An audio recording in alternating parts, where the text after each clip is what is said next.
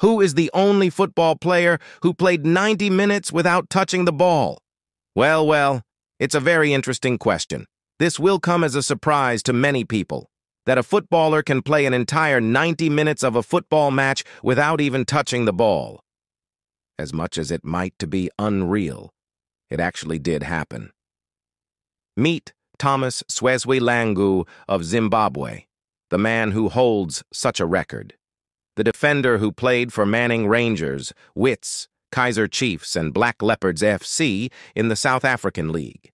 He also featured for Highlanders SC, Dynamos, and ZPC Kariba in Zimbabwe. He retired from the game of football at 35 years of age in the 2017. His last football club was ZPC Kariba in Zimbabwe. The retired footballer is currently 38 years old. The footballer played an entire 90 minutes football match during a Kaizer Chiefs game and never touched the ball. It is one of the strangest records that have being set in football history.